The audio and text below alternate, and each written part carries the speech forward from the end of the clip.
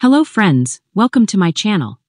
Did you know that you can personalize the lock screen on your Samsung Galaxy phone and make it even more attractive? In today's tutorial, I will show you how to add unique effects that will impress everyone who uses your phone. Follow the steps and learn how to create a true visual experience every time you try to unlock your device. So let's get started. First, find your Galaxy Store app and open it. Once inside, Find the Good Lock app and install it if you haven't already. After you're done with the installation, go ahead and open it to access the Good Lock app. Once you're in the Good Lock app, in the Makeup section, scroll down and find the Wonderland module, then tap the download icon. Wait for a bit while the module downloads and installs. After the installation is complete, the module will be automatically added to your home screen. Now, go back to the top and tap on the Wonderland module.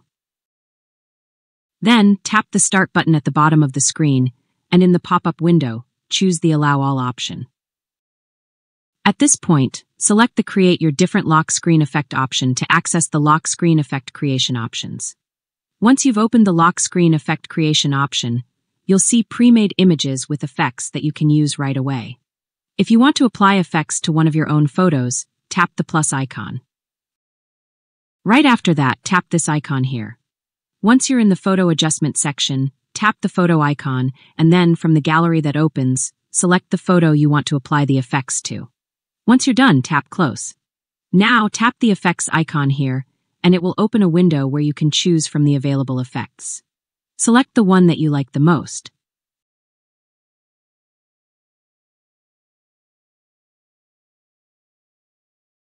Once you're done with that, tap Close again. Right next to the effects icon, tap the settings icon. Here, you'll be able to further adjust the effect settings, such as animation speed, duration, or other visual parameters. Once you're done with the adjustments, tap the screen off button, then screen on to see how the effect looks when unlocking your phone. If you're satisfied with the appearance, tap the download icon, then tap save to save your changes. Once you've done that, tap the set as wallpaper button, and that's it. Now, when you lock your phone, the new effect will be displayed when you unlock it. I hope this video was helpful. Don't forget to leave a like, share the video with your friends, and subscribe to my channel for more tutorials like this. See you very soon in my next video, and thank you so much for watching.